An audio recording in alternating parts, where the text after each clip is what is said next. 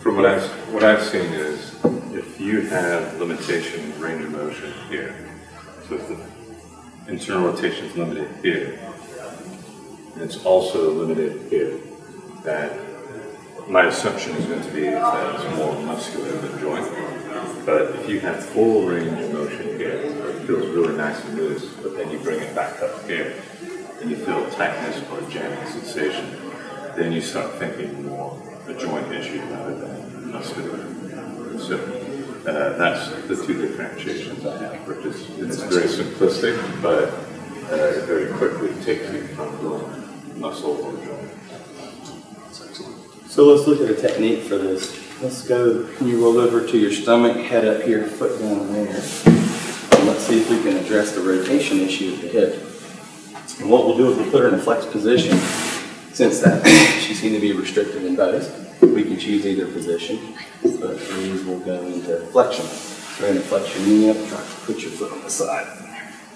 So since it was restricted in both positions and we know that it's tissue, we can use the joint to remove the tissue issue. And we saw that the sacroiliac joint is connected and that's where the muscles are originating from for propulsion for running.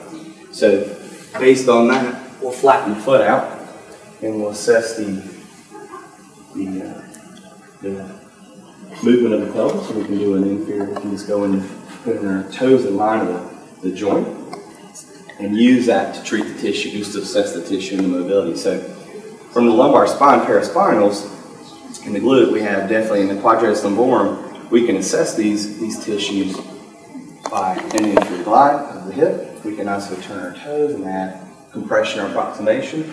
Drop a hand to the hip, to the troch off the lateral side of the hip, to the trochanter, and you add a compression maneuver here. So there's a little restriction there.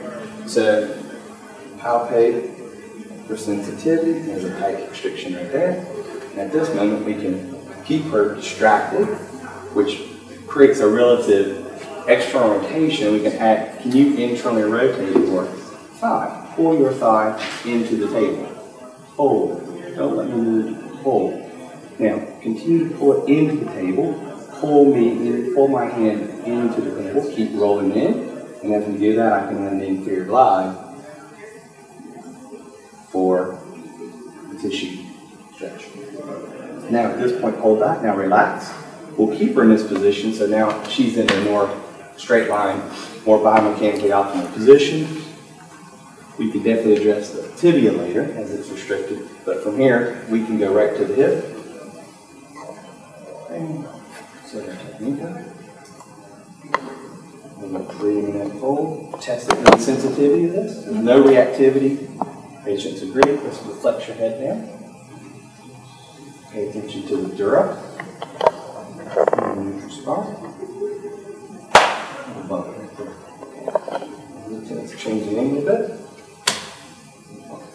Okay. Let's go back to your back. And so this was the side of restriction. And you'll see actually go this side. I'm not going side, so we'll go back to the same position. So I want to see, what it say? Treating the opposite side, one clears this. So we always want to check both sides. And if you look at that, you look at the internalization here. So. Let's go back to your stomach. Yep, yep, just roll it to your belly. Right. And then we'll reassess the extension again.